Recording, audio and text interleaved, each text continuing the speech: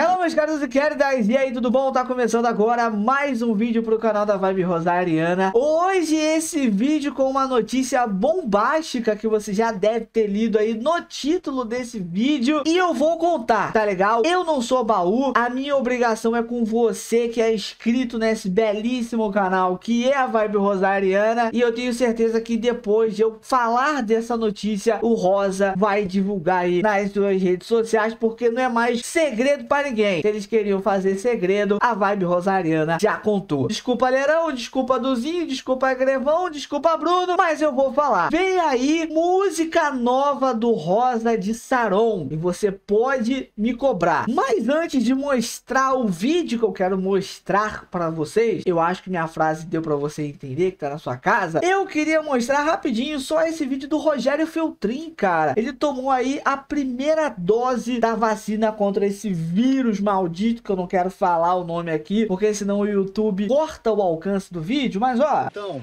dizem que, que tudo tem um lado bom na vida, né? Finalmente a minha hipertensão mostrou seu lado bom. Acabei de tomar a primeira dose aí da, da vacina contra a Covid, né? Olha que legal. E tô, tô muito feliz.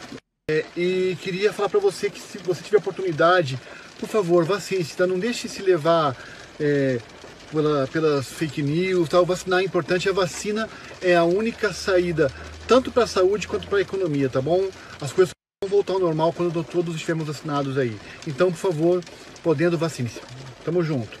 Boa, valeu Rogério Feltrin, parabéns aí, ó, vacinado contra esse vírus maldito. Então você tá ligado, né? Você ouviu ele falando aí. Vacine-se, é muito importante, pelo amor de Deus. Se você tá com saudade de ir nos shows do Rosa de Saron, toma aquela vacinazinha aí pra você ficar chuchu beleza. Agora vamos lá. O vídeo que eu quero mostrar pra vocês é do senhor André Cavalcante. Aí você que tá na sua casa me pergunta assim, Tony, tá, mas quem é o André Cavalcante? Ele simplesmente é o produtor musical do disco Lunação. Ele que é aí um dos sócios da Fábrica Produções, que assessora e faz música aí para um bando de cantor católico cristão. E ele gravou uns stories falando umas coisinhas que eu vou mostrar para vocês. André Cavalcante, fala pra gente, o que, que você tem para contar?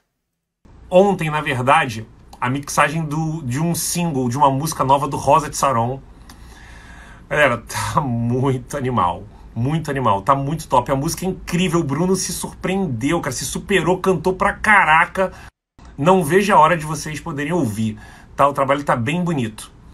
É, seguindo. É isso, Brasil.